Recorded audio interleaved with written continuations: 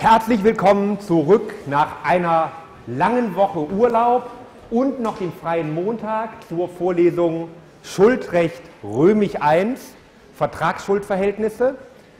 Sie erinnern sich düster, wir haben vor langer Zeit, nämlich vor fast zwei Wochen, das letzte Mal Vorlesung gehabt. Da haben wir gesprochen über 326 BGB und wir haben aufgehört mit einem Fall, den sich hoffentlich alle überlegt haben. Und wenn nicht, machen wir den halt jetzt. So, damit Sie sehen, wo wir dran sind. Wir sind immer noch im Kapitel Untergang von Leistungspflichten, reden jetzt über den Änderungsvertrag und Störung der Geschäftsgrundlage. Und Donnerstag ist Feiertag, wenn ich es recht sehe. Das heißt, nächsten Montag machen wir dann den Rücktritt und den verbraucherschützenden Widerruf. Ja, zunächst aber nochmal zur Wiederholung Unmöglichkeit. Ich habe gerade wieder 60 Klausuren aus dem Staatsexamen korrigiert und daher weiß ich, was da immer schief läuft. Das Erste, was Sie sich unbedingt merken müssen, was Sie garantiert trotzdem falsch machen, weil das in der Klausur immer falsch gemacht wird, Unmöglichkeit ist nur 275 Absatz 1.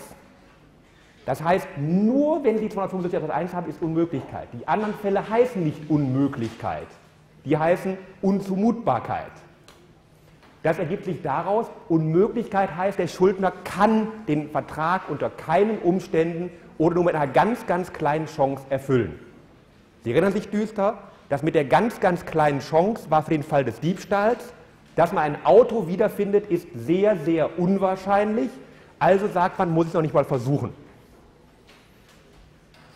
Zweite Aussage, Unzumutbarkeit. Unzumutbarkeit zeigt sich aus, der Schuldner kann, aber er muss nicht, weil wir sagen, das wäre entweder unsinnig, volkswirtschaftlich, oder es würde ihn persönlich als Individuum zu sehr belasten, weil er halt dazu sein Kind sterben lassen müsste, seine Gesundheit riskieren müsste oder andere hochrangige Güter, die verfassungsrechtlich geschützt sind. Also in der Klausur achten Sie bitte darauf, Unmöglichkeit Absatz 1, Unzumutbarkeit die beiden anderen Absätze. Wenn Sie das falsch machen, ist das schon mal ganz, ganz, ganz schlimm. Zweitens, die Rechtsfolge der Unmöglichkeit ist, der Schuldner darf nicht mehr leisten. Selbst wenn es wieder möglich werden sollte, die Pflicht ist untergegangen, die bleibt untergegangen, die lebt nicht wieder auf. Unmöglichkeit hat endgültig Feierabend. Zweitens, der Gläubiger darf nicht mehr die Erfüllung verlangen. Der Anspruch ist futsch. Es gibt keinen Anspruch auf die Leistung mehr. Das müssen Sie sich unbedingt merken. Der kann klagen, da wird die Klage abgewiesen, er kriegt nichts mehr, weil es ja entweder unmöglich ist oder unzumutbar und der Schuldner sich darauf berufen hat. In dem Moment ist die Pflicht endgültig weg. Das ist deshalb wichtig, weil wir lernen demnächst, wenn wir Glück haben heute, spätestens aber nächsten Montag, dass es beim Rücktritt einen Paragraphen 323 gibt, der sagt, wenn ich nicht die Leistung erbringe, kann ich zurücktreten. Also wenn der Schuldner die Leistung nicht erbringt, kann der Gläubiger vom Vertrag zurücktreten. Das setzt aber voraus, dass der Schuldner überhaupt leisten muss. Wenn der Schuldner nicht leisten muss, kann er auch keine Pflicht dadurch verletzen, dass er nicht leistet, weil er hat gar keine Pflicht. Last but not least, ein Problem, was ich immer wieder sehe, 326 Absatz 1 Satz 1 gilt erstens nur für gegenseitige Verträge. Was waren denn nochmal gegenseitige Verträge?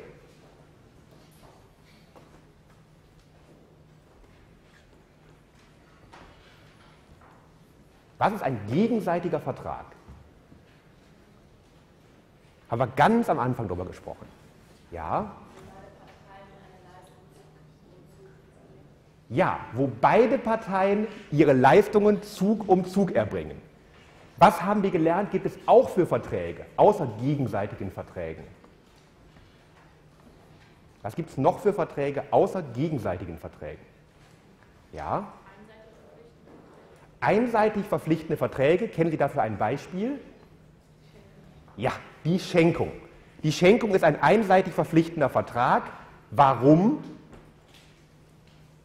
Warum ist die Schenkung einseitig verpflichtend? Ist relativ offensichtlich. Wer wird die Schenkung verpflichtet? So ist es. Nur den Schenker treffen Pflichten, der Beschenkte ist nur zur Rücksichtnahme verpflichtet. Also darf den Schenker nicht gegen Schienbein treten oder sowas, aber er hat keine Pflicht, das Geschenk anzunehmen zum Beispiel. Haben wir noch eine dritte Kategorie, außer den gegenseitigen Verträgen und den einseitig verpflichtenden Verträgen. Ja? Die unvollkommenen Verbindlichkeiten. Ja, was ist das denn? Ja.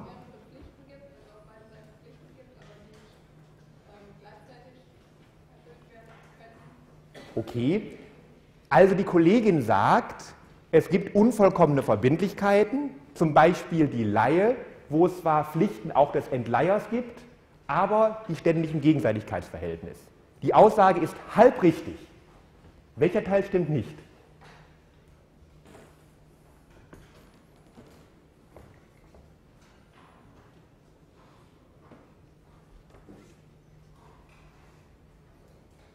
Das ist ein kleiner Fehler. Was stimmt da nicht? Unvollkommene Verbindlichkeiten, zum Beispiel die Laie, bei der den Endleiher auch Pflichten treffen, die aber nicht im Gegenseitigkeitsverhältnis stehen. Was stimmt an dieser Aussage nicht?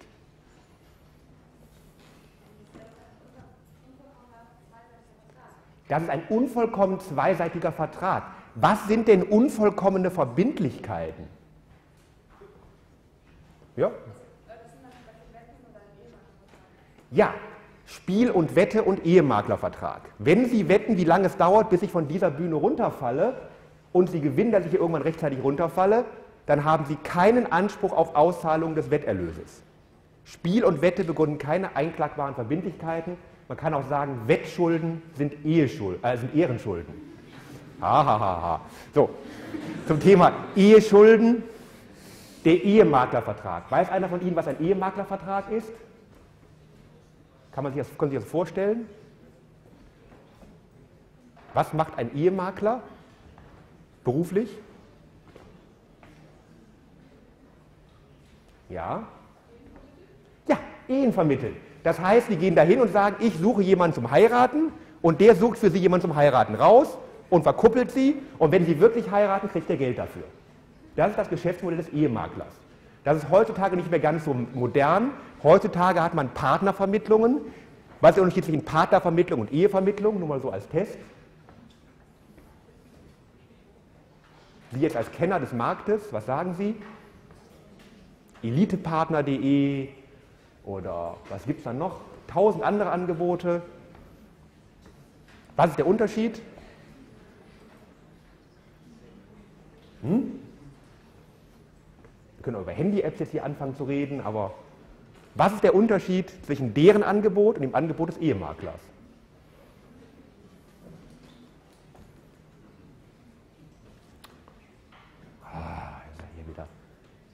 einschlafendes Tempo. Und hinterher heißt es immer, ich nehme nicht genug Leute dran, sie haben nicht Chance mitzuarbeiten, weil sie nie was sagen. Was sagen Sie denn zum Thema Elitepartner? Sind Sie Kunde? Gucken Sie sich ruhig um, nützt Ihnen nichts. Ich denke mal, die vermitteln keine Ehe, sondern nur ein Treffen ja. Ja, in der Tat. Die vermitteln keine Ehen, sondern nur Treffen von Gleichgesinnten. Was meinen Sie jetzt so als Kenner des BGB? Würden Sie die Re Regelungen über den Ehemaklervertrag analog anwenden? Das heißt, planwidrige Regelungslücke und vergleichbare Interessenlage. Was meinen Sie? Analog, ja oder nein? So. Sie als Elite-Partnerkunden, was sagen Sie dazu? Passt das?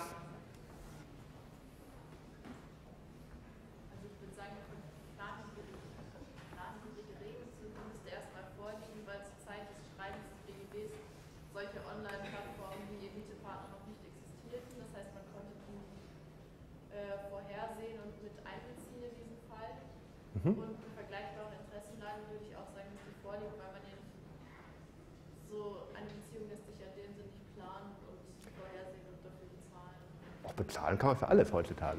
Ähm, ja, in der Tat, die Regelung findet analoge Anwendung, weil wir sagen, der Gesetzgeber dachte früher immer, wenn Menschen zusammenkommen, kann das doch nur eine Ehe sein.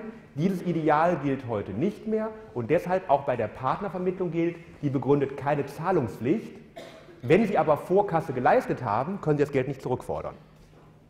Das heißt, die müssen immer Vorkasse verlangen, weil sonst gibt es kein Geld.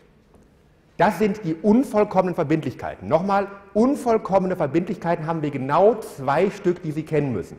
Das eine ist Spiel und Wette. Und das andere ist der Ehemaklervertrag. Und was ist jetzt die Laie nochmal? Das ist der Test. Wer hat drei Minuten lang aufgepasst? Was war die Laie? Ja? Ein unvollkommen zweiseitiger Vertrag. Warum kein perfekter zweiseitiger Vertrag? Warum ist das unvollkommen?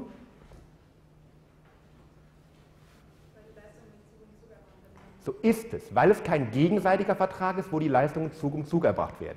Denn bei der Laie ist es so, der Entleiher muss erst zurückgeben, nachdem er die Sache bekommen hat. Zug um Zug würde keinen Sinn machen. Wenn er zurückgeben muss, gleichzeitig mit dem Moment, wo die Sache bekommt, dann hat die Sache nicht mehr für eine Sekunde. Das heißt, der eine muss vorleisten, damit es überhaupt funktioniert. Einverstanden? Gut. Und nur bei gegenseitigen Verträgen greift 326.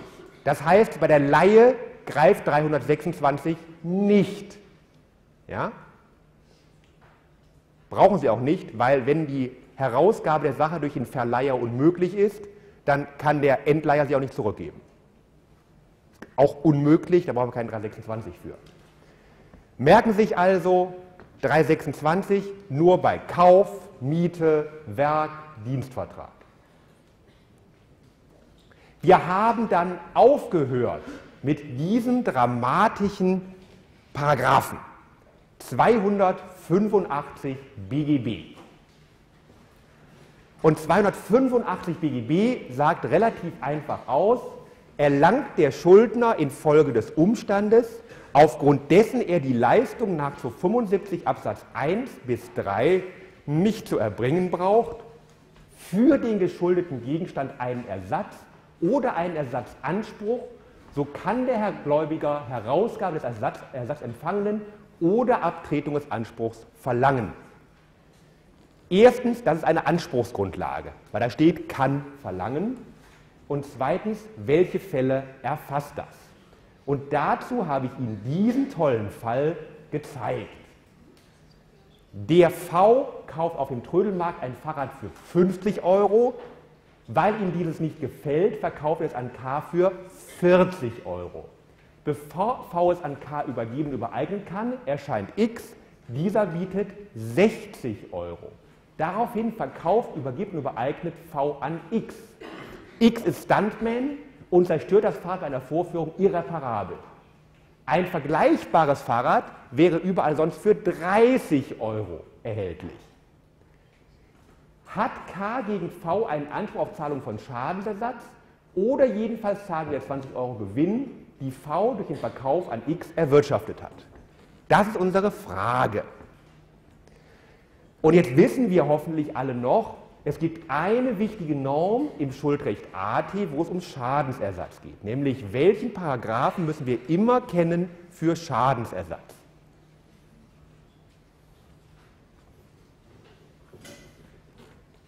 Eine der wenigen Sachen, die man wissen muss. Ja? 280. 280 Absatz 1. Also prüfen wir hier einen Anspruch auf Zahlung von Schadensersatz aus 280 Absatz 1. Was setzt 280 Absatz 1 nochmal voraus?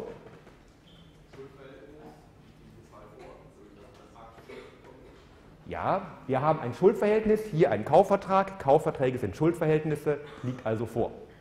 Was brauchen wir noch? Ja, wir brauchen eine Pflichtverletzung. Worin liegt denn hier die Pflichtverletzung?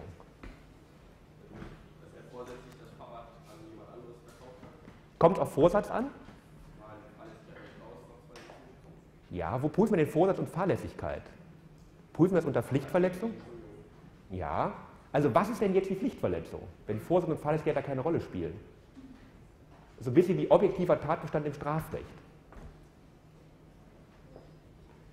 Was ist denn die Pflichtverletzung in diesem Fall? Welche Pflicht hat er denn verletzt? Fangen wir damit mal an. Welche Pflicht hatte er und wie hat er sie verletzt?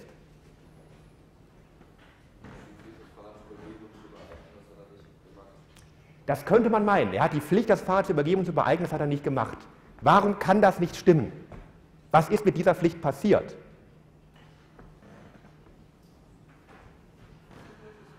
Die ist unmöglich geworden. Und was bedeutet das, wenn eine Pflicht unmöglich wird? Was passiert mit dieser Pflicht in der Sekunde, wo sie unmöglich wird?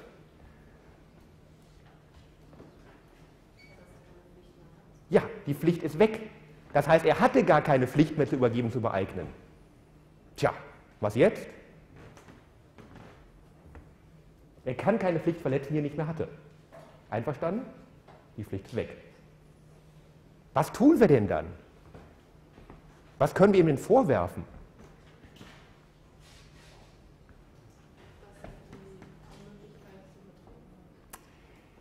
Dass er die Unmöglichkeit zu vertreten hat, das klingt auf den ersten Blick gut, aber da haben wir wieder das Vertreten müssen drin, was ja ein eigener Prüfungspunkt ist. Was ist also das objektiv Vorwerfbare?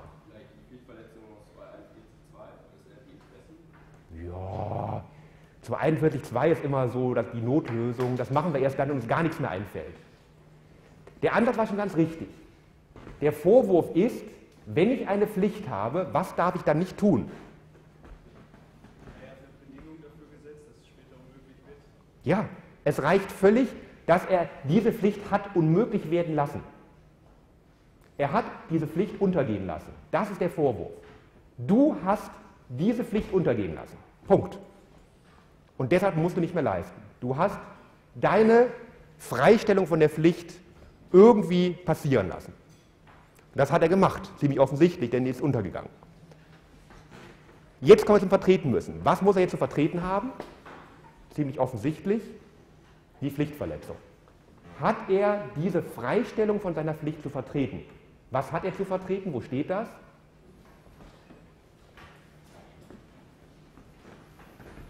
Ja? Ja, 276 Absatz 1. Da wir hier nichts anderes bestimmt haben, hat er Vorsatz und Fahrlässigkeit vertreten. Was sagen Sie hier? Hat er vorsätzlich oder fahrlässig gehandelt? Wie als alte Kenner des Strafrechts, Vorsatz oder Fahrlässigkeit. Was hat er hier getan? Ich sage das weiter. Wenn Sie das jetzt nicht wissen, was hier Vorsatz ist und was Fahrlässigkeit ist, dann kriegen Sie Ärger im Strafrecht.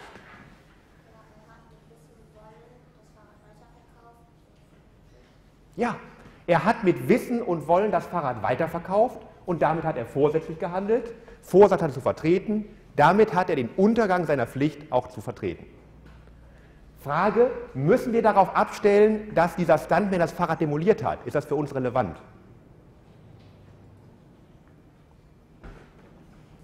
Da kann er nichts für, dass der Stuntman es kaputt gemacht hat. Ist das für uns entscheidend?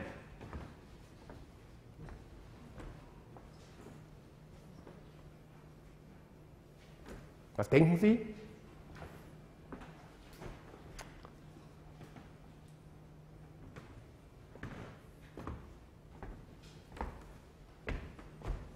Was denken Sie? Spielt das eine Rolle, dass das ein Stuntman kaputt gemacht hat, das Fahrrad? Fürs Vertreten müssen? Ja?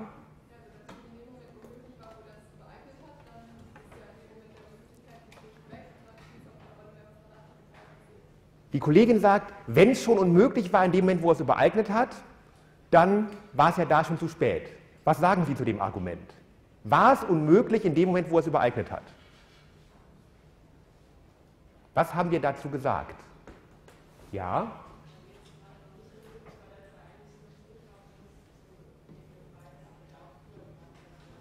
Ja. Allein der Weiter, die Weiterübereignung hindert grundsätzlich die Erfüllung nicht. Dann muss er es möglicherweise zurückerwerben und das Fahrrad von dem Käufer wieder zurückkaufen. Das hat er aber nicht mal versucht. Also der Zeitpunkt kann nicht entscheidend sein. Was sagen Sie jetzt? Also allein die Übereignung hat es ihm nicht unmöglich gemacht, die hat es vielleicht erschwert, aber unmöglich geworden ist es erst, dass das Fahrrad restlos zerstört worden ist. Was sagen Sie jetzt? Ändert das Ihre Beurteilung dieses Falles?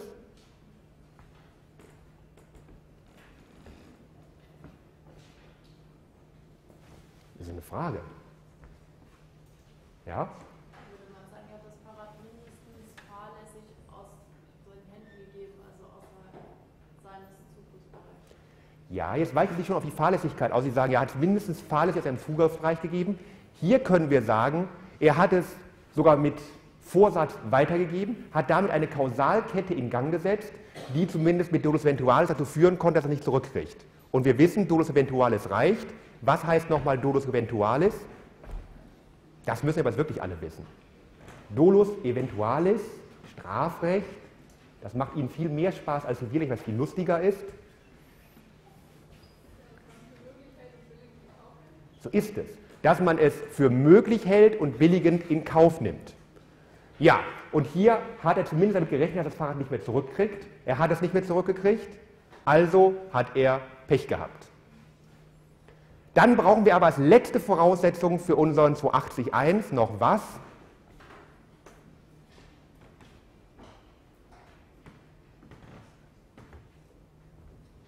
Ja, ein Schaden. Was ist denn ein Schaden so hier? Wo sehen Sie hier den Schaden? Wo könnte der Schaden des K liegen?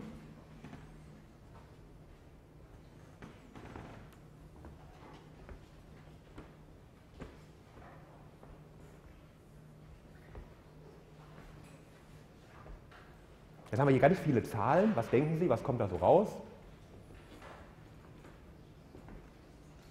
Wir fangen mit der einfachen Frage an. Wie würde K stehen, wenn V seine Pflicht nicht verletzt hätte? Was hätte er dann bekommen? Ganz einfache Frage. Wenn V die Pflicht nicht verletzt hätte, was wäre dann? Er hätte ein Fahrrad, das 30 Euro wert ist, für 40 Euro bekommen. Ja, dann hätte er ein Fahrrad bekommen, was 30 Euro wert ist, hätte 40 Euro bezahlt. Das heißt, wenn wir das addi äh, wenn wir subtrahieren, was kriegen wir dann raus? Wie stände sein Vermögen da?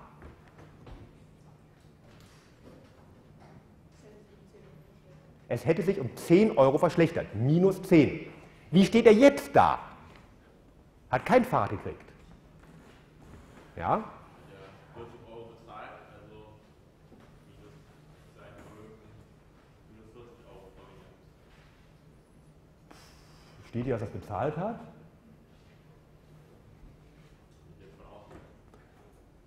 Zahlen Sie immer Vorkasse? Auf dem Trödelmarkt? Also ich weiß ja nicht, das scheint mir relativ untypisch. Erstmal den 40 Euro in die Hand zu drücken und dann zu sagen, ich komme in einer Stunde wieder. Also, selbst wenn er gezahlt hätte, würde ich 40 Euro zurückkriegen, wegen 326 Absatz 1. Das heißt, die können sein Schaden nicht sein. Wie steht er also momentan da?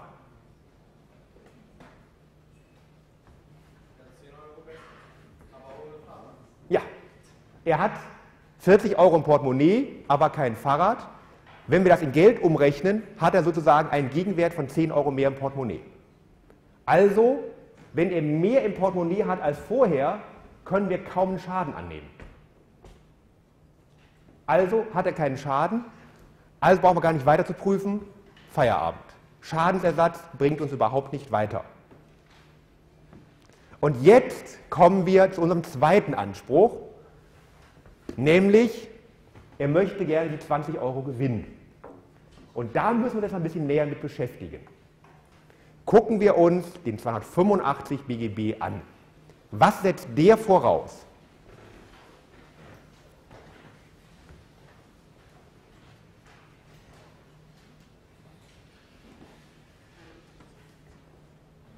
Das Prüfungsschema ist viel, viel einfacher als das von 280. Das ist das, was wir gerade geprüft haben.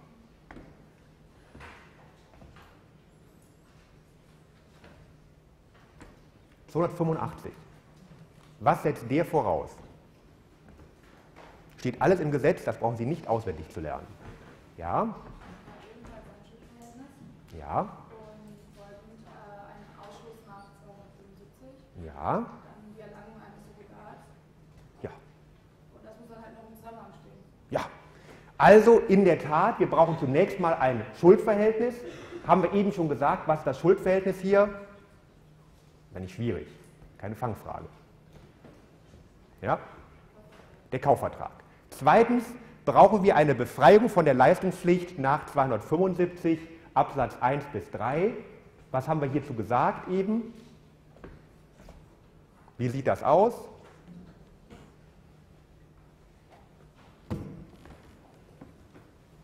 Befreiung von der Leistungspflicht nach 75 Absatz 1 bis 3. Was sagen Sie dazu? Haben wir das? Ja? Genau. Der V kann das Fahrrad nicht mehr übergeben und übereignen. Seine Pflicht ist nach 275 Absatz 1 untergegangen. Dritte Voraussetzung. Er muss etwas als Ersatz gerade für die Unmöglichkeit erlangt haben. Was hat er denn hier möglicherweise als Ersatz für die Unmöglichkeit erlangt? Für den Umstand, der die Unmöglichkeit herbeigeführt hat. Die 60 Euro Kaufpreis. Merken Sie sich, die hat er dafür bekommen, dass er die Pflicht nicht mehr erfüllen kann. Also, was ist die Rechtsfolge der Norm? Was muss er grundsätzlich erstmal tun? Was muss er also tun nach 285 Absatz 1?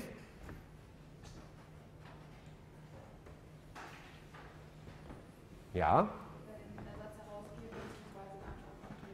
Ja, er muss den Ersatz herausgeben. Das heißt, was muss er konkret hier herausgeben? Wie viel Euro muss er herausgeben?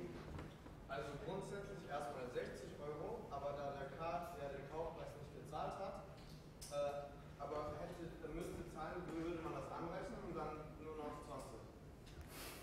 Aha, also, ja, irgendwie kommen da 20 raus.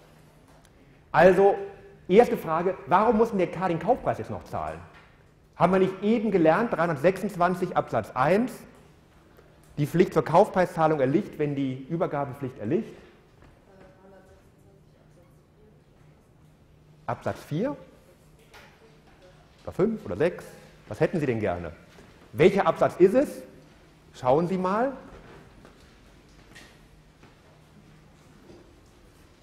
Ja?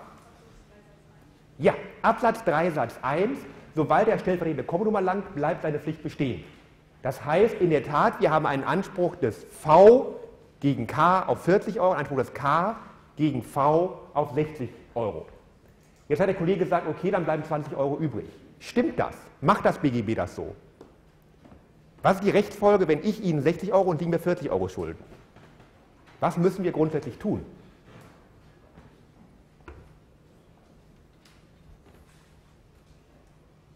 Wird automatisch so verrechnet und dann gesagt, okay, es wird nur die Differenz geschuldet. Ist das wirklich so, wie der Kollege behauptet? Gibt es eine automatische Verrechnung im BGB?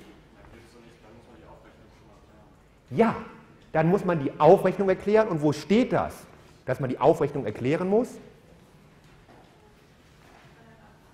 388 BGB, die Aufrechnung ist ein Gestaltungsrecht. Wenn die Aufrechnung nicht erklärt ist, muss der eine in der Tat 60 Euro bezahlen und der andere muss ihm dann 40 Euro wieder zurückzahlen. Ja? Also es ist ein Hin- und Herzahlen. Das BGB sagt, wenn keiner von den beiden sagt, ich rechne auf, muss hin und her gezahlt werden. Da wird nichts automatisch verrechnet. Merken Sie das unbedingt für Klausuren. Es wird nie automatisch verrechnet. Automatisch passiert im BGB nichts. Das muss ausdrücklich gesagt werden. Ja? Also unsere Rechtsfolge ist in der Tat, erstmal der eine muss 60 Euro und der andere muss 40 Euro bezahlen. Welche, wie stehen die Pflichten zueinander im Verhältnis? Im Kaufvertrag, Sie erinnern sich düster, was haben wir eben beim Kaufvertrag gesagt? Wie steht die Pflicht des Käufers zur Pflicht des Verkäufers? Wie muss man solche Pflichten erfüllen? Zug um Zug. Und das können Sie in 320 BGB sehen. 320 BGB bedeutet, der eine gibt und der andere muss gleichzeitig geben. Exakt im gleichen Moment treffen sich auf der Mitte. Das heißt, keiner von den beiden muss vorleisten. Es ist nicht so, als ob der V erst die 60 Euro geben muss und von den 60 Euro kann der K ihm das zurückgeben, sondern theoretisch treffen die sich in der Mitte und tauschen Dinge aus. Also der eine gibt 40 Euro aus seinem Portemonnaie, der andere 60 Euro aus seinem Portemonnaie. Das sagt 320 BGB. Schlauer wäre es, wenn einer die Aufrechnung erklärt, aber wenn keiner die Aufrechnung erklärt, passiert genau das. 60 Euro von da nach da, 40 Euro von da nach da. Sagen Sie, wie blöd ist das denn? Aber so ist das. Ja? Das BGB sagt Aufrechnung nur bei Erklärung. Merken Sie sich das. Das ist total verwirrend, aber es ist leider so. So, ich habe Ihnen nochmal diese tolle Übersichtsfolie gemacht. Es ist der erhaltene Ersatz für die geschuldete Leistung. Der wird angerechnet auf die Gegenleistung und er wird auf Schaden statt der Leistung angerichtet, was wir noch machen werden, wenn wir dazu kommen. Wichtig ist, Sie müssen diesen Anspruch nicht geltend machen. Wenn Sie ihn nicht geltend machen, wird nichts angerechnet, Sie müssen einfach nur nicht bezahlen. In der Praxis geht es darüber hinaus um Versicherungsbeträge. Wenn also die Sache versichert war und wird geklaut oder zerstört, kann ich die Versicherungszahlung als Käufer vom Verkäufer herausverlangen. Merken Sie sich also, wenn der Klausur irgendwas auftaucht mit Versicherung oder mit Weiterverkauf, denken Sie an 285. Ja? Wenn eines dieser beiden Worte auftaucht, immer 285. Sonst können Sie Norm auch vergessen. Und jetzt kommen wir zu einem der schwierigsten Probleme im allgemeinen Schuldrecht. Wenn ich sage schwierig, meine ich das auch, nämlich zur beiderseits zu vertretenden Unmöglichkeit. Und zwar habe ich Ihnen dafür dieses tolle Bild gemalt. Sie sehen hier links ist ein Auto hinter einem ähm, Haltenverbotenschild und hier ist einmal 1000 Euro hinter einem solchen Schild. Damit will ich Ihnen sagen, der V verkauft dem K sein Auto und die Übergabe und Übereignung des Autos wird unmöglich. Sie wird aber unmöglich deshalb, weil der K eine Probefahrt gemacht hat und die Bremsen nicht richtig angezogen hat, was der V nicht richtig kontrolliert hat.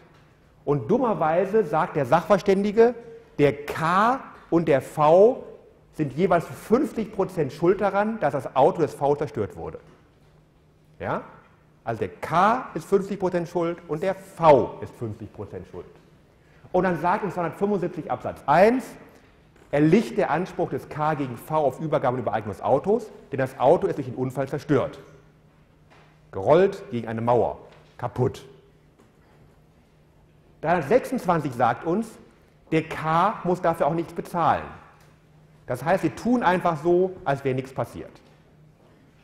Dieses Ergebnis finden aber viele ungerecht. Sie finden es vor allen Dingen deshalb ungerecht, weil wir eine Regelung in 326 Absatz 2 Satz 1 haben, die sagt, wenn der K alleine oder weit überwiegend verantwortlich ist, dann muss er trotzdem den Kaufpreis bezahlen, obwohl er kein Auto kriegt. Alleine verantwortlich heißt, wenn der K das Auto mit Schwung gegen eine Mauer gefahren hat und 100% selbst schuld ist dann muss er das Auto bezahlen, obwohl er es nicht mehr kriegen kann. Weit überwiegend heißt zwischen 95 und 100 Prozent. Das heißt, wenn der V noch ein bisschen Mitverschulden hat, kriegt er trotzdem sein Geld. Aber alles, was unter 95 Prozent ist, sagt das BGB, gibt es keinen Kaufpreis mehr. Und dieses Ergebnis finden ganz, ganz, ganz viele Leute ungerecht. Und das finden die schon ungerecht seit über 100 Jahren. Und Sie können sich vorstellen, wenn man Juristen 100 Jahre lang über ein Problem nachdenken lässt, dann kommen da ganz viele verwirrende Lösungen raus. Wir fangen an mit Lösungsvorschlag 1. Lösungsvorschlag 1 sagt, wir müssen den Absatz 1 teleologisch reduzieren. Das heißt, wir lesen da rein, soweit der Gläubiger dies nicht analog zu 154 Absatz 1 BGB zu vertreten hat. Das heißt, wir lesen da rein, wir quoteln das. Der Kaufpreis erliegt nur so weit, wie es allein vom Gläubiger zu, äh, vom Schuldner zu vertreten ist. Sonst bleibt er anteilig bestehen. Also wenn Sie 1000 Euro schulden und 50% Mitverschulden haben, reduziert sich der Kaufpreis auf 500 Euro. So ist die Idee. Ja? Eine dynamische Skala. Das ist Ansicht 1. Der Grund dafür soll sein, der Gesetzgeber hätte an diesen Fall nicht gedacht und die Norm des Absatzes 1 würde zu weit gehen, Also müssen wir die Norm des Absatzes 1 beschränken, soweit wie sie sinnvoll anwendbar ist. Die Gegenansicht sagt, der Gesetzgeber hat das Problem ja gesehen, nämlich in diesem Absatz 2. Er hat nur einen Fehler gemacht. Er hat nämlich hier reingeschrieben, allein oder weit überwiegend. Das meinte der gar nicht so. Sie müssen eigentlich dieses allein oder weit überwiegend rausstreichen und sagen, der Anspruch bleibt bestehen, wenn der Gläubiger auch nur ein bisschen Mitverschulden hat. Also auch schon mal ein bisschen Mitverschulden bleibt der Anspruch bestehen. Ja? Das ist eine Analogie. Warum? Weil wir eine Norm, die eigentlich für einen anderen Fall gedacht ist, entsprechend anwenden für einen Fall, für den sie nicht gedacht ist. Der Unterschied ist also, oben haben wir einfach was rausgestrichen und jetzt wenden wir eine Ausnahmevorschrift entsprechend an. Sie sehen aber, diese beiden Ansichten haben ein gewisses Problem, weil der Gesetzgeber hat dummerweise das Problem gesehen und er hat es halt anders gelöst. Er hat nämlich gesagt, allein oder weit überwiegend besteht und in allen anderen Fällen erliegt es komplett. Der hat immer ganz oder gar nicht Lösung gemacht. Eine Quotelung kennt das BGB hier nicht. Deshalb gibt es die vierte Lösung. Die vierte Lösung sagt, wir lösen das Problem gar nicht an der Stelle, sondern wir lösen es ganz woanders, nämlich im Schadensersatzrecht. Und die sagt, hm, in dem Moment, wo der Gläubiger verursacht, dass der Schuldner seine Pflicht nicht erfüllen kann, greift er ein in den Anspruch, den der Verkäufer schon hat auf den Kaufpreis und macht den zunichte. Und das ist eine fehlende Rücksichtnahme auf die Interessen des Verkäufers, der immerhin Geld sehen will. Und das ist eine Pflichtverletzung nach 280 BGB. Und Pflichtverletzungen nach 280 BGB haben bekanntlich Schadensersatz zur Folge. Und bei Schadensersatz haben wir 254, der sagt, wir können dann wunderbar quoteln nach Verschuldensanteil. In unserem Fall ist das recht einfach, weil wir haben sogar ein Eigentum des V am Auto, was verletzt worden ist. In allen anderen Fällen sagt man einfach, es ist der Anspruch auf die Gegenleistung, der auch ein Recht im Sinne dieser Norm ist. Das würde also auch immer passen. Jetzt sagen Sie sich, ist doch alles super? Warum erzählt er so komplizierte Sachen? Das Problem an der Sache ist, dass dieses, dieser Meinungsstreit extrem verworren ist. Denn für jede Ansicht gibt es ein Problem. Die erste Meinung hat das Problem Regelungslücke. Für eine teleologische Reduktion brauchen wir eine Regelung, die zu weit geht. Der Gesetzgeber hat aber eine Ausnahme geschaffen, also können wir kaum sagen, der hat hier planwidrig zu viel geregelt. Das zweite Problem ist, wir wollen ja irgendwie eine Quotelung erreichen und eine Quotelung haben wir bei Gegenleistungen nicht. Also wir sagen, ich kriege nur so und so viel Prozent meines Kaufpreises.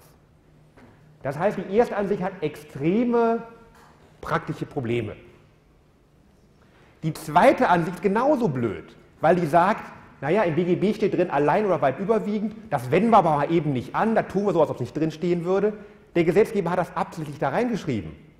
Warum sollen wir einfach mal Sachen rausstreichen, wenn der erklärte Wille des Gesetzgebers anders ist? Und das andere Problem ist, wie kommt dazu, ich kriege den kompletten Kaufpreis selbst bei einem Prozent mitverschulden und muss dann alles über Schadenssatz verrechnen. Kann also hoffen, dass es zu einem angemessenen Preis gekauft worden ist, sonst steht der Käufer halt blöd da. Und die dritte Ansicht, meine Ansicht sozusagen, hat leider auch einen Schönheitsfehler. In allen Fällen, die wir bisher hatten, ging es um Eigentum des Verkäufers. Wenn der Verkäufer aber eine fremde Sache verkauft hat zum Beispiel, dann ist es extrem schwer zu begründen, warum soll ich als Käufer darauf achten, dass der Verkäufer von mir Geld bekommen kann. Ich habe ja keine Pflicht dafür zu sorgen, dass hier ähm, der Juri-Shop Geld kriegt, wobei ich da jeden Tag eine Cola kaufen gehe. Das ist nicht meine Pflicht. Ich bin nicht der Förderer meines Verkäufers. Jeder hat seine eigenen Interessen. Es gibt keine Rücksichtnahmepflicht auf den Kaufpreisanspruch. Das heißt, alle drei Ansichten haben Probleme.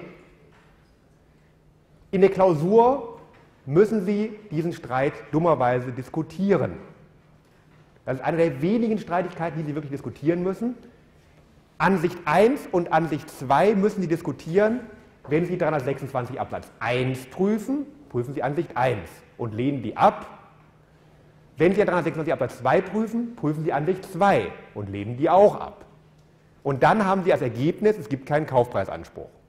Und dann prüfen Sie als nächstes den Anspruch aus 180 und müssen da Ansicht 3 diskutieren. Und wenn Sie dann auch ablehnen, dann hat halt der Verkäufer Pech gehabt. Einverstanden mit diesem System? Also merken Sie sich, Ansicht 1 bei Absatz 1, Ansicht 2 bei Absatz 2 und die dritte Ansicht bei 280. Sie können das nicht so diskutieren, dass Sie sagen, es gibt drei Ansichten an einer Stelle, weil jede Ansicht bezieht sich auf eine andere Stelle im Prüfungsaufbau. Es wird ein anderes Tatbestandsmerkmal verändert. Das heißt, Sie prüfen das immer da bei dem Tatbestandsmerkmal, was diese Ansicht verändert. Also klar die drei Ansichten? Nein. Also nochmal, Sie sehen das hier. Entweder Sie streichen, Sie fügen da oben was hinzu, Pünktchen, Pünktchen, und machen ein zusätzliches einschränkendes Tatbestandsmerkmal. Das ist eine teleologische Reduktion. Das würden Sie prüfen. Der Anspruch könnte untergegangen sein nach 326.1. Möglicherweise gilt dies aber nur, soweit der Gläubiger diesen zu vertreten hat.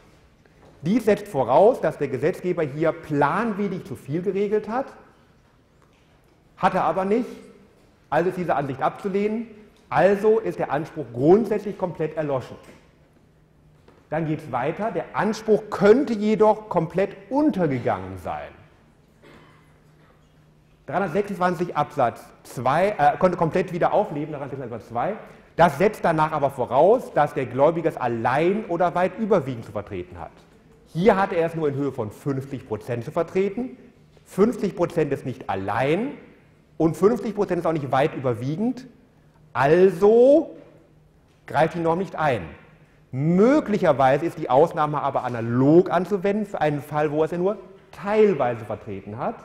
Das heißt, die würden dann rausstreichen dieses Tatbestandsmerkmal und sagen, das greift in vollem Umfang ein setzt aber wieder voraus eine planwidrige Regelungslücke. Der Gesetzgeber hat das Problem gesehen, hat es aber so geregelt und nicht anders. Also ist auch diese Analogie auszuschließen. Also ist der Gegenleistungsanspruch untergegangen, also gibt es keinen Anspruch auf Kaufpreiszahlung. Es könnte jedoch einen Schadensersatzanspruch gegen den Käufer geben, aus 280 Absatz 1 zu 41 Absatz 2. Schuldverhältnis haben wir im Kaufvertrag, Rücksichtnahmepflichtverletzung könnte daran liegen, dass er keine hinreichende Rücksicht auf das Eigentum des V am Pkw oder auf den Anspruch des V gegen ihn aus 433 Absatz 2 BGB genommen hat. Das ist hier der Fall. Das hat er auch fahrlässig getan, nämlich 50% mitverschulden. Also haben wir einen 280er Anspruch. Der Schaden ist der entgangene Kaufpreis. Also ist der Kaufpreis als Schadensanspruch zu berücksichtigen. Allerdings trifft den V an 50% Mitverschulden, das heißt, er kriegt nur 50% vom Kaufpreis und damit ist die Sache erledigt. Toll. Das müssen wir diskutieren, wie gesagt, in diesem Aufbau. Damit kommen wir jetzt zum spannenden Thema Änderung von Verträgen. Die denken sich, warum sollte man Verträge überhaupt ändern? Ich kann Ihnen sagen, weil sich möglicherweise die Situation geändert hat. Die praktisch bekannteste Vertragsänderung ist die Mieterhöhung und auch sehr unbeliebt, wenn der Vermieter sagt, die Vergleichsmieten aller anderen Wohnungen in der Gegend sind deutlich gestiegen, ich möchte gerne nicht weniger verdienen als meine Nachbarn. Und dann kann er die Miete erhöhen. Das ist eine Vertragsänderung, weil die Gegenleistung erhöht wird, nachträglich. Es kann aber auch sein, dass zum Beispiel sich Dienste ändern. Wenn Sie zum Beispiel ein Abo haben bei Amazon Prime oder bei Netflix, dann werden Sie feststellen, dass das Angebot an Filmen und Serien sich jeden Monat mal ändert. Da fallen Filme raus und es kommen neue Filme rein. Dann ändert sich das Angebot, Sie zahlen aber trotzdem einfach weiter. Das machen die deshalb, weil keiner die Filme von 2002 bis zum Lang Himmeleinstag gucken will, sondern sie wollen alle die neuen Top-Filme gucken, also müssen es ab und zu mal austauschen. Einverstanden? Ansonsten haben wir auch schon Fälle kennengelernt, wo wir gesagt haben, naja, möglicherweise ist der Preis ja gestiegen. Sie erinnern sich an unsere Fälle, wenn die Sache weiterverkauft worden ist und der Rückkaufpreis deutlich höher ist. Und möglicherweise ist der Markt auch anders geworden.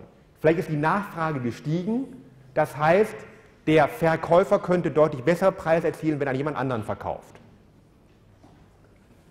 Ansonsten haben wir auch schon Fälle gehabt im BGB AT, nämlich, dass sie sich geirrt haben über Eigenschaften.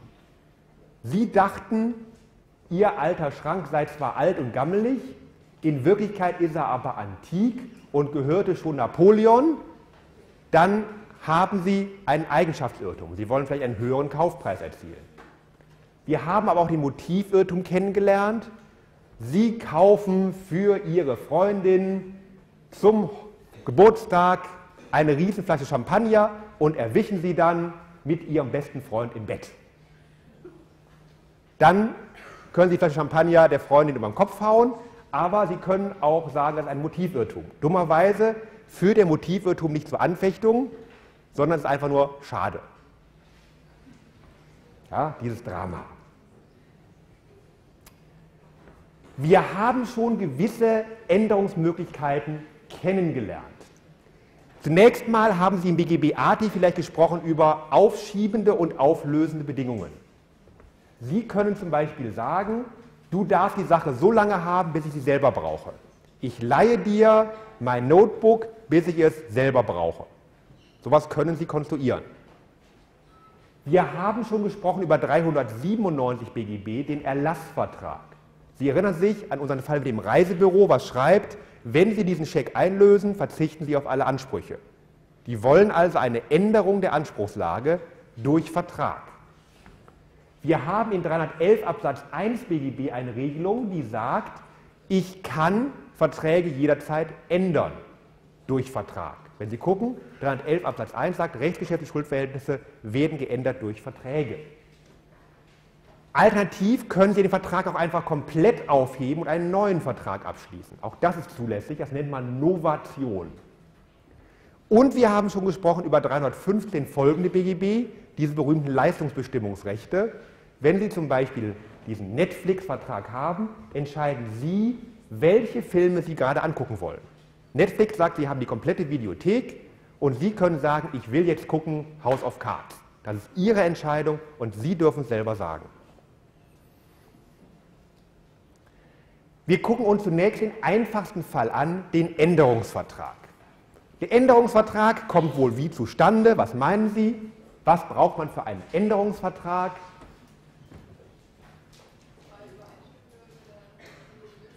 Ja, zwei übereinstimmende Willenserklärungen, ein Antrag, eine Annahme. Die müssen geschäftsfähig sein, die können sich vertreten lassen, da können sie alles machen, was im BGB-AT gelernt haben. Ganz kurz eingehen will ich auf 125 und zwar Form. Wenn Sie einen Mietvertrag haben, dann haben Sie vielleicht gesehen, die meisten Mietverträge haben ganz am Ende eine Klausel, die sagt, Änderungen und Ergänzungen bedürfen der Schriftform. Das schreibt man da rein, damit man nicht hinterher sagen kann, haben wir auch immer schon so gemacht, das passt schon irgendwie. Sie können in Verträge reinschreiben, dass jeder Änderungsvertrag schriftlich geschlossen werden muss und dann haben Sie zwei Sachen zu beachten. Zum einen ist es eine sogenannte rechtsgeschäftlich vereinbarte Form und dann findet nicht mehr 125 Satz 1 BGB Anwendung, sondern, das ist keine schwierige Frage, was denken Sie, wenn nicht 125 Satz 1 Anwendung findet, was findet dann wohl Anwendung?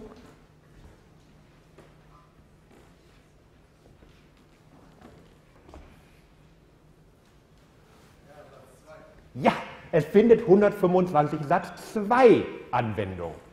Das ist der eine Unterschied. Der zweite Unterschied, der ist etwas anders. Es findet nicht mehr 126 BGB Anwendung, sondern welche Regelung für die Schriftform?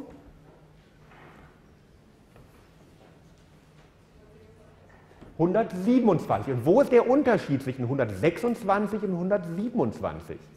Jetzt wird er langsam spannend. Wenn der Gesetzgeber schon zwei Regelungen hat, muss es ja einen Unterschied geben.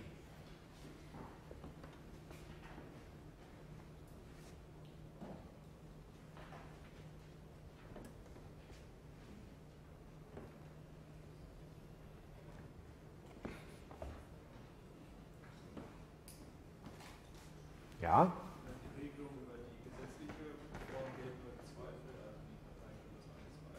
Ja, die können was anderes vereinbaren. Nun, wenn sie Schriftform schreiben, heißt das ja, was heißt das denn dann? Also, was heißt im Zweifel, wenn da halt drin steht Schriftform? Wenn, dann ist ja nichts anderes vereinbart ausdrücklich. Was, meinen Sie, was meint der Gesetzgeber wohl damit? Wenn. Ja, was könnten Sie denn meinen? Frage ich Sie mal so als Pragmatiker. Die schreiben, ähm, Änderungen müssen schriftlich erfolgen. Woran denken die oft, so als Laie? An die einfache Textform. Woran denken, was meinen die mit einfacher Textform? Was wollen die wohl machen, üblicherweise? Ja, die wollen, dass Schrift festgehalten wird und die wollen aber nicht ständig irgendwelche Dinger unterschreiben und hin und her schicken, sondern die wollen das möglicherweise per E-Mail machen oder ähnliches. Das heißt, in vielen Fällen bedeutet schriftlich in Verträgen eigentlich Textform, das heißt nur einfach irgendwie festgehalten. Ja, ansonsten, wenn Sie Norm durchlesen, sehen Sie eigentlich noch ein paar mehr Erleichterungen. Da kann man halt einfacher Sachen übermitteln. Da kann man nämlich das Ding faxen, muss man nicht im Original hinschicken. Alles ganz lustig. Die Pointe der Schriftform ist allerdings eine andere. Der BGH sagt nämlich in einer etwas dubiosen Rechtsprechung, eine Schriftformklausel kommt zustande durch mündliche Vereinbarung letztendlich. Sie können die zwar aufschreiben, aber es gibt keine Schriftform für die Schriftformklausel. Deshalb, weil die Klausel formlos entstanden ist, kann man sie auch formlos wieder abschaffen. Ja? Also man könnte auch sagen, Änderungen und Ergänzungen bedürfen der Schriftform, außer die Aufhebung der Schriftformklausel, weil die Schriftformklausel bedurfte ja ihrerseits auch keiner Schriftform. Ja? Wir sind schon total verwirrt. Der Sinn dahinter ist viel einfacher. Wenn die Parteien sich mündlich einigen und keiner an die Schriftformklausel gedacht haben, und die beiden gedacht haben, das ist jetzt für uns beide wirksam. Zum Beispiel, weil gesagt worden ist, ab sofort darfst du den Garten mitbenutzen, lieber Mieter. Und er benutzt den Garten ein Jahr lang jeden Tag. Im Winter sitzt er draußen in der Kälte und genießt seinen schönen Garten. Dann sind beide Parteien davon ausgegangen, dass sie eine wirksame Änderung des Mietvertrages vorgenommen haben. Dummerweise ist die nicht wirksam, weil am Ende drunter stand, Änderungen bedürfen der Schriftform. Dieses Ergebnis will der BGH nicht gelten lassen und sagt, wenn die Parteien übereinstimmend der Meinung sind, wir wollen eine Änderung durchführen ohne Schriftform, heben sie damit konkludent die Schriftformklausel wieder auf und können den Vertrag mündlich ändern. Ja? Also die ganze tolle Schriftformklausel kann konkludent oder auch mündlich ausdrücklich abbedungen werden. Warum tut man das? Damit man nicht in eine blöde Situation gerät. Damit aber noch nicht ganz am Ende. Es gab nicht dann schlaue Juristen, die gesagt haben, das ist aber blöd, das wollen wir gerade nicht. Und deshalb hat man etwas erfunden, das nennt sich qualifizierte Schriftformklausel. Qualifizierte Schriftformklauseln zeichnen sich durch eine Ergänzung aus. Die Schriftformklausel darf nur schriftlich geändert werden. Ja? Das heißt, der Vertrag sagt, Änderungen und Ergänzungen bedürfen der Schriftform. Punkt. Dies gilt insbesondere auch für diese Schriftformklausel. In dem Moment, wo ich das ausdrücklich hinschreibe, sagt der BGH, hindert die zweite Klausel die Aufhebung der ersten Klausel und damit gilt ein mündlicher Abreden auf keinen Fall. Und ich kann mich noch so sehr auf den Kopf stellen, wer das gemacht hat, ist immer selber schuld. Das Problem an der Sache ist, in AGB klappt das auch wieder nicht, weil man sagt, da hat die Individualabrede immer Vorrang, 305b. Das heißt, in AGB können Sie keine qualifizierte Schriftformklausel machen. Das heißt, der Vermieter hat da immer Pech gehabt. Und das Zweite ist, man sagt, naja, also wenn das über Jahrzehnte lang gemacht worden ist und beide Parteien fest daran geglaubt haben, hält man sich auch nicht mehr an die qualifizierte Schriftformklausel fest. Weil dann wäre das treuwidrig und wird den anderen irgendwie unzumutbar benachteiligen. Sie sehen also hier an diesem konkreten Beispiel, Verträge lassen sich relativ leicht ändern und es ist gar nicht so einfach, das zu verhindern. Es geht allerdings noch weiter. Und das ist eine Sache, die hat vor 14 Jahren für einen Aufruhr unter den Juristen gesorgt. Die haben gesagt, es gilt der Grundsatz, Verträge sind einzuhalten, pacta sunt servanda. Verträge wird man nicht mehr los. Das BGB kennt die Anfechtung. Die Anfechtung macht den Vertrag aber komplett weg. Eine Pflicht, Verträge zu ändern, gibt es nicht. Man hat nämlich im Jahr 2002 Paragraph 313 BGB geschaffen. Und 313 BGB sagt Ihnen genau das Gegenteil von Pacta sunt servanda.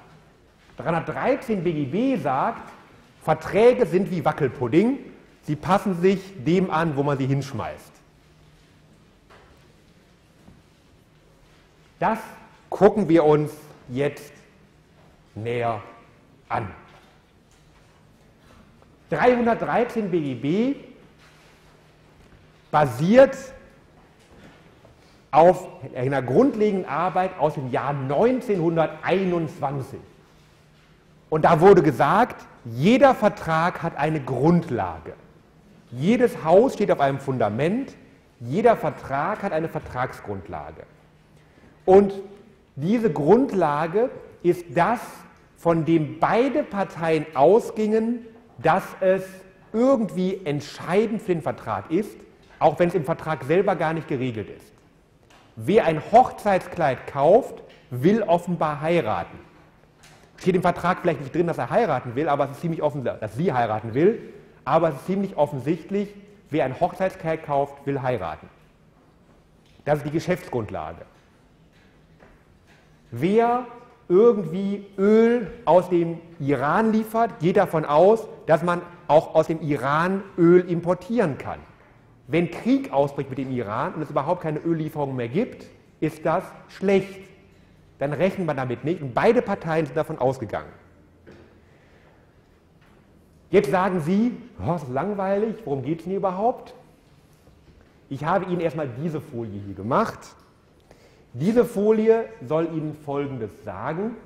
Es gibt schon eine Reihe von Regelungen, die das Problem kennen. Zum Beispiel 519 BGB.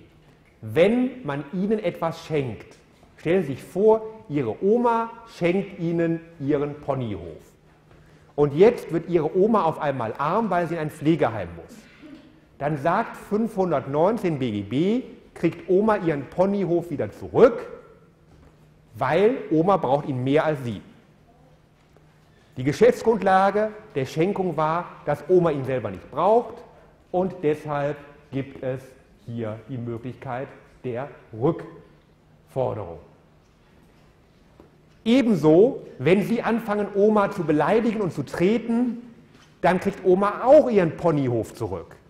Seien Sie also lieb zu Leuten, die Ihnen was schenken. Bei schweren Verfehlungen, sagt das BGB, kann der Schenker sein Geschenk zurückfordern. Also wenn Sie Ihr Weihnachtsgeschenk bekommen haben und dann anfangen, Ihre Eltern zu beleidigen, Pech gehabt, gibt es wieder Geschenke zurück. Dann haben wir so Regelungen wie Sonderkündigungsrechte. Wenn Sie jemandem Geld geliehen haben und feststellen, der lebt auf großem Fuß und ist bald pleite, dann haben Sie das Recht zu sagen, ich möchte mein Geld sofort zurückhaben. Das sagt das BGB, weil es sagt, die Grundlage des Darlehens ist, dass er da vernünftig mit umgeht. Wenn er offensichtlich in die Pleite hineinschleudert, können Sie sagen, schnell Geld wieder zurück, bevor es noch schlimmer wird. Ebenso, wenn Sie einen Vergleich schließen. Wenn Sie sagen, okay, ich verzichte auf Betrag 1 und der andere sagt, ich verzichte auf Betrag 2 und wir einigen uns auf der Mitte und Sie finden heraus, der lügt und ist viel schlimmer, als Sie dachten, dann können Sie den Vergleich wieder aufheben und neu verhandeln. Und last but not least 321 BGB. Ich habe Ihnen gesagt, grundsätzlich gilt in BGB Zug um Zug. Nun ist es aber manchmal so, dass einer der beiden Vorleistung verlangt. Wenn der Käufer Vorleistung verlangt, nennt man das Kauf auf Rechnung.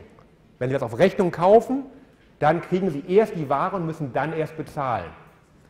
Wenn der Verkäufer auf Vorleistung besteht, nennt man das Vorkasse. Dann zahlen Sie zuerst und kriegen dann erst die Lieferung. 321 sagt, selbst wenn Sie Vorkasse vereinbart haben, können Sie sagen, ich möchte doch wieder Zug um Zug, wenn sich die Umstände verändert haben und irgendwie an die Presse gelangt, dass Ihr Verkäufer unzuverlässig geworden ist. Dann können Sie sagen, ich bin doch nicht blöd und leiste Vorkasse. Umgekehrt kann auch der Verkäufer, der grundsätzlich auf Rechnung liefert, sagen, an Sie nicht, weil Sie momentan so gut wie insolvent sind. Ich liefere erst, wenn ich Geld sehe. Das sagt 321. Also auch bei Vorleistungen kann man wieder zurück auf Zug um Zug, wenn der andere unzuverlässig geworden ist. Sie sehen also, dieses Problem, dass irgendwas sich ändern kann nach Vertragsschluss, gibt es in ganz vielen Normen. Hier oben steht drauf, Sie müssen diese ganzen Normen jetzt nicht auswendig lernen, weil das ist viel zu viel Detailwissen. Sie müssen nur da erkennen, gucken Sie erstmal im besonderen Schuldrecht nach, bevor Sie auf 313 BGB zurückgreifen. Sie müssen aber nicht nur im Gesetz nachgucken, Sie müssen auch im Sachverhalt nachgucken. Wenn da steht, der Vertrag hat ausdrückliche Regelungen für den Fall, dass sich was ändert, haben diese Regelungen Vorrang vor 313. Die Parteien können sagen, wir wollen auf jeden Fall, dass Öl geliefert wird, es darf keine Änderung geben. Die Parteien können sagen, es gilt der Tagespreis. Dann gilt der Tagespreis und es spielt keine Rolle, wie hoch der ist. Das heißt, die Parteien können die Sache im Vertrag regeln. Wenn sie es nicht tun, gucken wir weiter in 313. Und 313 hat drei Absätze. Und wir gucken uns zunächst mal den ersten Absatz an.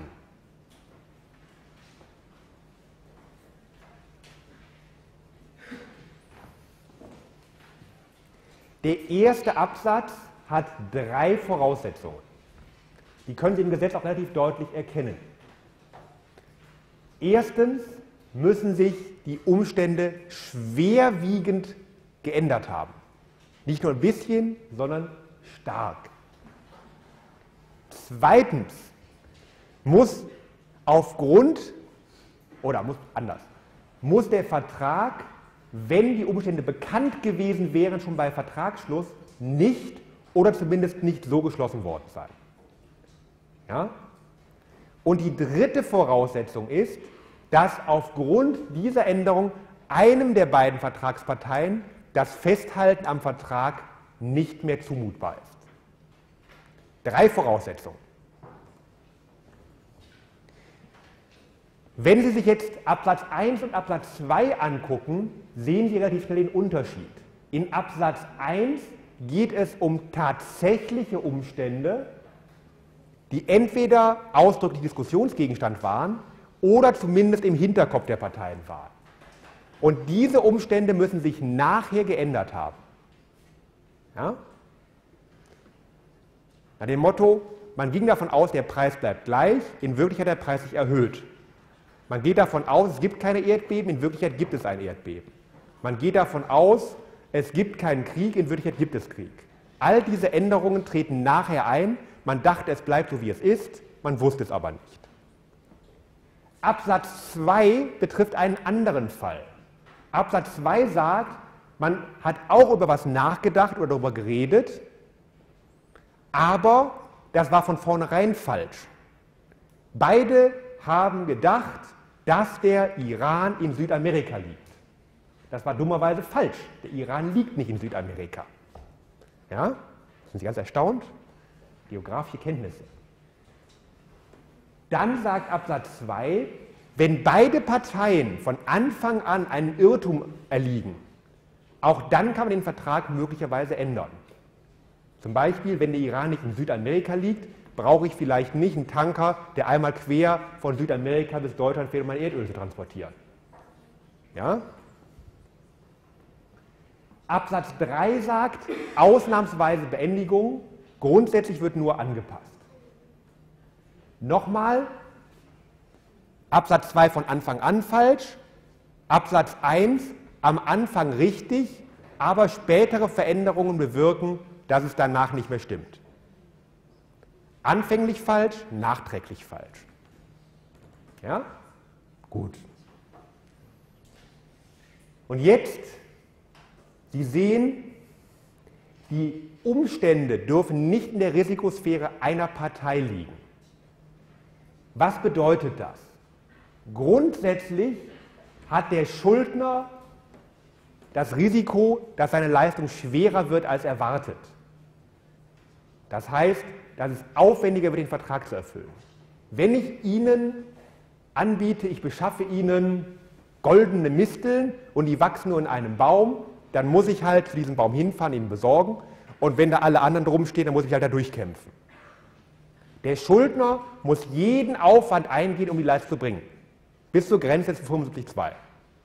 Der Schuldner hat also das Problem, die Kosten treffen ihn, egal wie hoch sie werden. Andererseits hat der Gläubiger das Risiko, dass er die Leistung überhaupt benutzen will.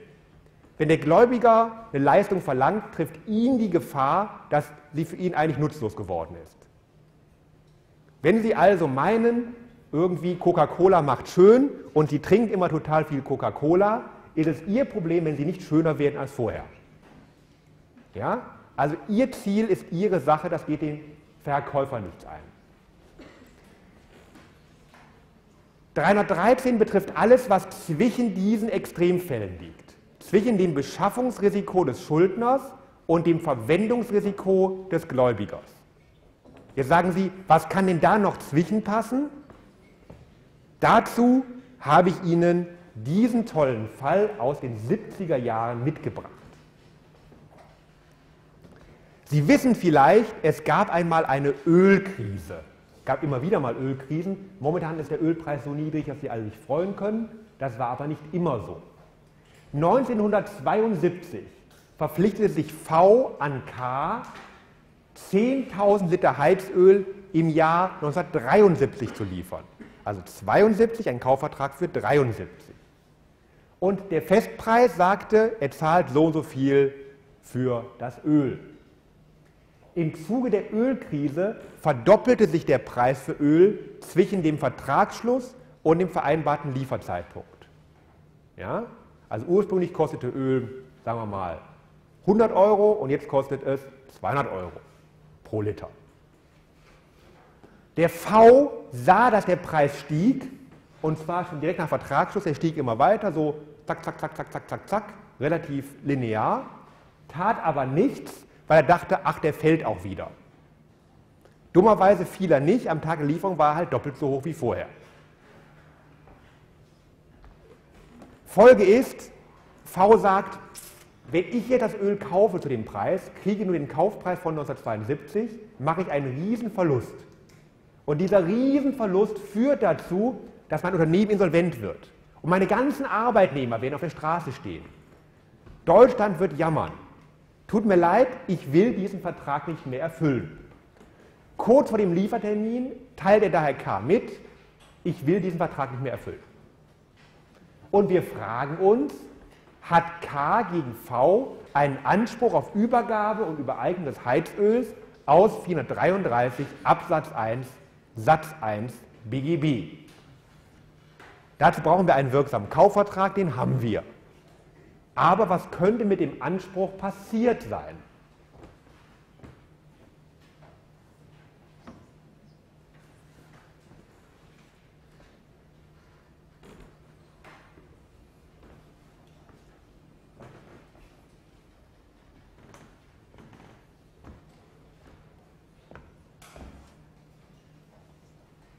Ja?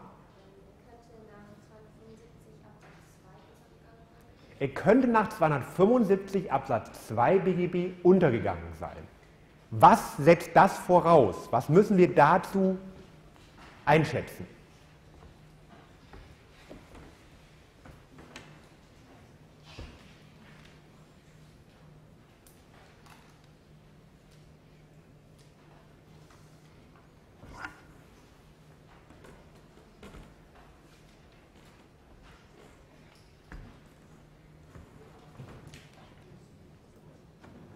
275 Absatz 2. Was brauchen wir dafür? Ja?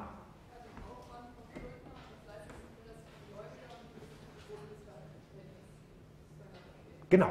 Wir brauchen erstens den Aufwand für den Schuldner, zweitens das Leistungsinteresse des Gläubigers und drittens brauchen wir ein grobes Missverhältnis. Was ist aber hier mit dem Leistungsinteresse des Gläubigers, wenn sich der Preis für Heizöl auf dem Markt erhöht. Warum kaufen sich Leute Heizöl? Frage ich mal so. Weil es so schön ist, um zu schwimmen oder die Haut vielleicht gut. Warum kaufen sich Leute 10.000 Liter Heizöl? So als Test. Warum kaufen die sich das? Entweder um es weiter zu verkaufen oder, oder um den eigenen Tank zu verbrauchen. Jetzt die Frage, wie bemesse ich denn das Leistungsinteresse am Verbrauchen oder Verkaufen von Heizöl? Wie viel ist das denn wert?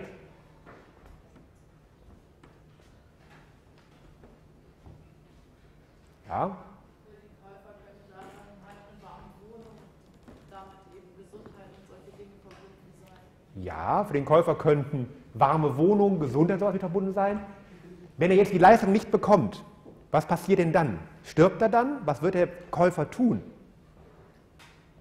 Wenn hier, wir sagen, der Anspruch gegen V ist untergegangen, was wird K tun?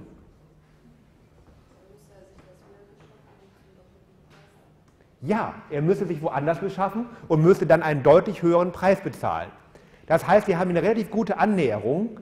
Die Annäherung ist nämlich, mit jedem Cent, den das Heizöl für V teurer wird, wird es auch für K wertvoller. Denn K müsste seinen Bedarf zum Heizen oder Weiterverkaufen anderweitig decken. Und diese anderweitige Deckung würde ihn genau das mehr kosten, was jetzt der V auch mehr bezahlen muss. Das heißt, jede Erhöhung des Aufwandes für V durch Erhöhung des Marktpreises bewirkt auch eine Erhöhung des Leistungsinteresses K. Die steigen also genau gleich an. Ja? Haben Sie das verstanden? Rein rechnerisch? Damit der V seine Wohnung heizen kann, muss er ohnehin Heizöl kaufen. Wenn er das nicht bei V bekommt, bekommt er das woanders und zahlt dafür das gleiche oder sogar mehr, als das das V bezahlen muss. Das heißt, jeder Cent, den V mehr bezahlen muss, ist auch ein Cent, den K mehr bezahlen muss. Und damit das Interesse des K, seine Wohnung zu heizen, immer genauso viel wert wie der Marktpreis.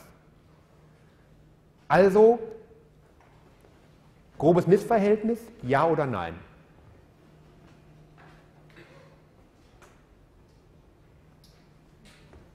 Nein.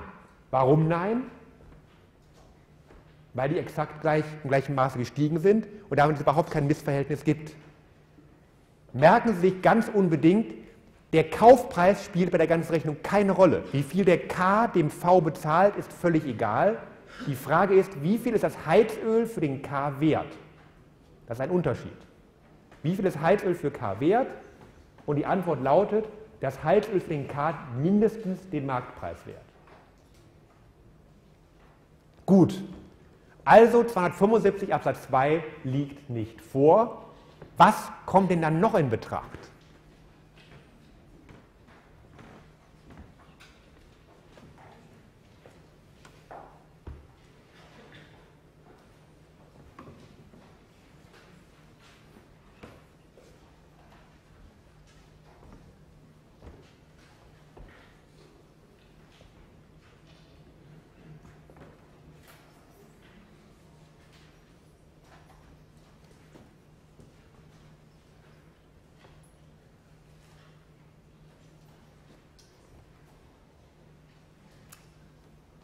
Ja? Könnte die Einrede von Paragraph 313 Ist 313 eine Einrede? Was sagt denn 313? Was ist denn da so, was kommt denn dabei so raus?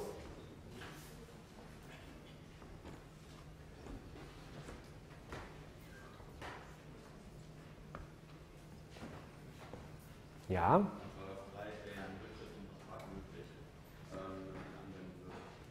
Nach 313 Absatz 3 ist ein Rücktritt vom Vertrag möglich, aber immer, kommt 313 immer zu einem Rücktritt? Äh, primär ist äh, die Anpassung des Vertrags die Folge.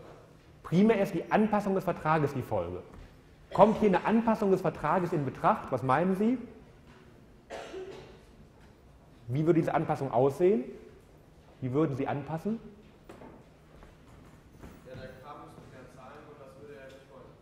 Ja, das müsste er nicht wollen, aber der, es wäre ja ein Anspruch. Er hätte ja einen Anspruch, darauf den Vertrag anzupassen, der V. Was sagt er dann nach 13 Absatz 3? Wann muss der K sich nicht darauf einlassen, den Vertrag zu ändern?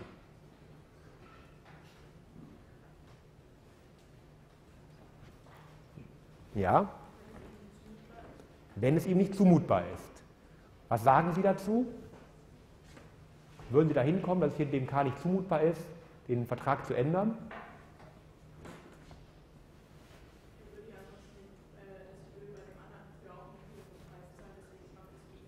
Das denke ich auch. Also hier in der Tat können wir sagen, hier möglicherweise nur Anspruch auf Vertragsanpassung. Dann hätten wir aber zumindest ein Recht des V, einen höheren Kaufpreis zu verlangen. Und solange er keinen höheren Kaufpreis kriegt, können nach 320 BGB die Leistung verweigern. Was setzt das aber voraus? Wenn wir den Vertrag anpassen wollen nach 313 Absatz 1 BGB, dass der, K, also dass der V gegen K einen Anspruch auf Vertragsanpassung hat. Ja, des äh, 313 Absatz 1 grundlegend verändert haben im Laufe der Zeit. Das haben sie nicht. Äh, ähm. Ja, es müssen sich die Umstände schwerwiegend verändert haben. Klar, beide Parteien sind davon ausgegangen, Ölpreis bleibt ungefähr gleich, aber hier hat es dummerweise radikal anders entwickelt. Gut, das ist die erste Voraussetzung. Haben wir noch mehr Voraussetzungen oder war es das jetzt? Ja? Ja? Was meinen Sie? Hätten die Parteien den Vertrag nicht oder nicht so geschlossen, wenn sie es gewusst hätten? Ja? Ja, der V auf jeden Fall nicht. Also würde man sagen, der V hätte den Vertrag mit einem dynamischen Preis abgeschlossen oder vielleicht hätte der V auch den Vertrag gar nicht abgeschlossen. Ähm, gut, haben wir noch eine weitere Voraussetzung.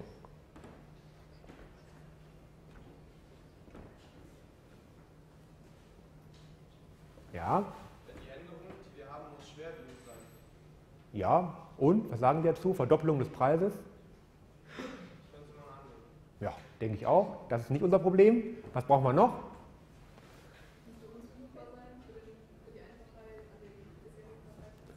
Ja, es müsste unzumutbar sein. Was sagen Sie dazu? Ja, es ist nicht der gleiche Unzumutbarkeitsbegriff wie in 275 Absatz 2. Das kriegen wir auch noch hin. Und was brauchen wir noch?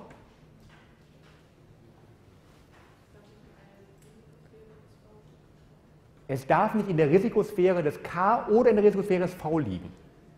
Was sagen Sie denn dazu? In diesem Fall Sphären, das ist so ein bisschen so meditativ so. In wessen Sphäre liegt denn das Risiko?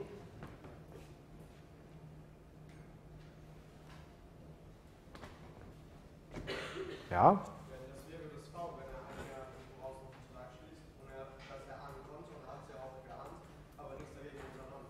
ja.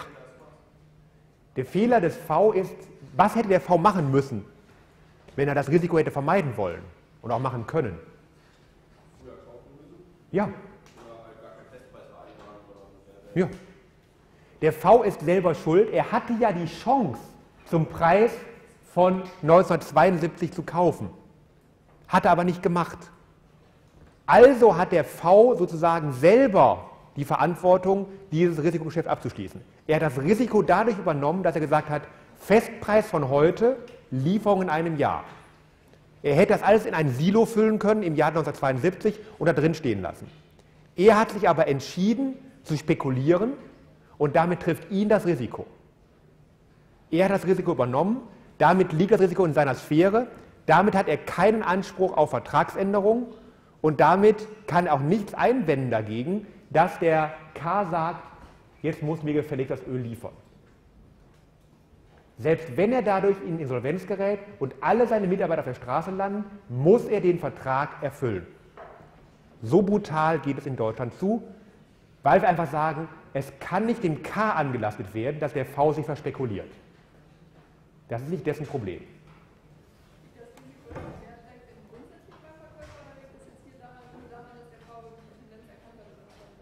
Das, der Vorwurf hier ist, dadurch, dass er einen Festpreis 1972 vereinbart hat für 1973, hätte er 1972 kaufen müssen, sozusagen, weil der Festpreis ja kalkuliert ist wahrscheinlich nach dem Marktwert von 72. Hat er nicht getan, stattdessen hat er gesagt, ich verlasse mich auf den Markt, das wird garantiert billiger. Damit hat er spekuliert, das heißt, er hat selber die Kontrolle gehabt. Er hat die Einflussmöglichkeit gehabt, das Risiko zu vermeiden, hat es aber nicht wahrgenommen und damit ist seine Sphäre.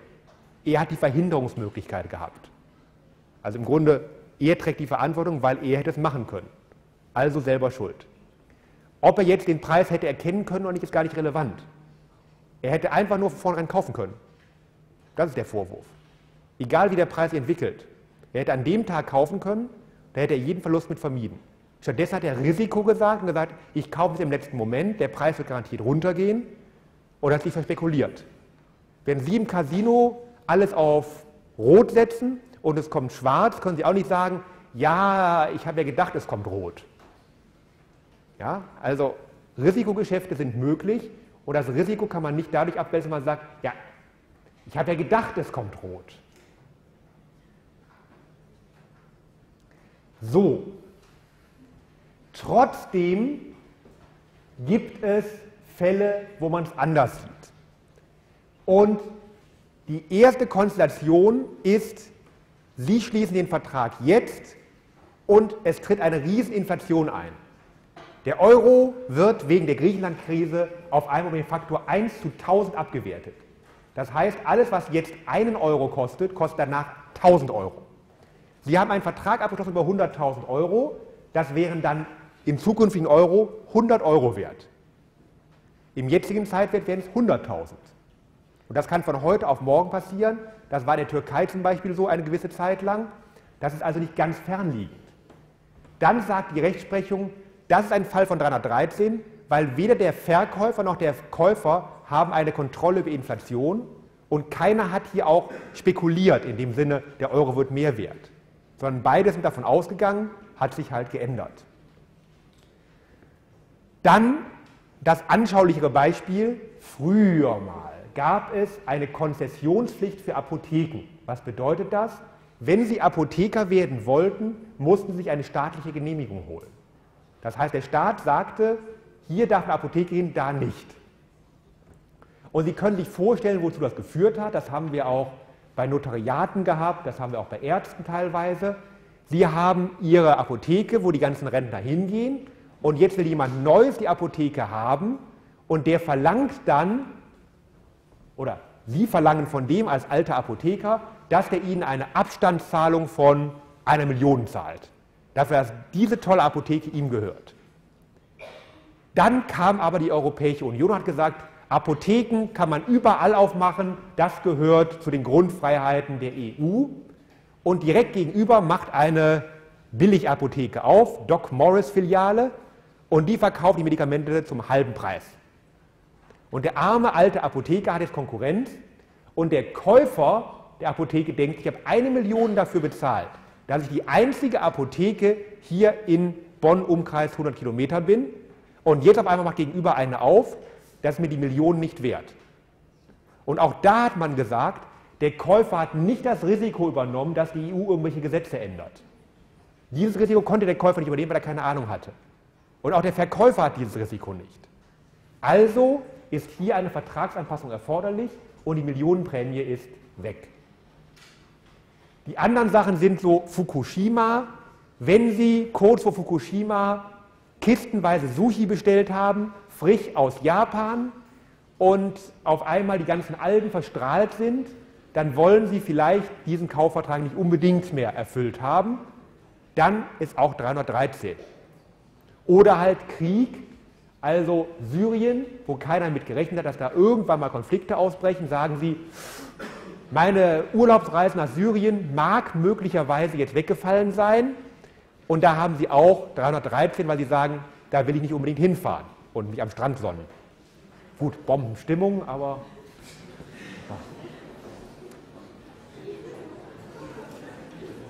Zweitens, Zweckstörung.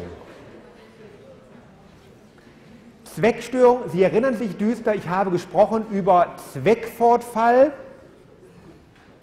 Zweckfortfall heißt, ähm, Sie sterben, bevor der Notarzt kommt, dann brauchen Sie auch keinen Notarzt mehr.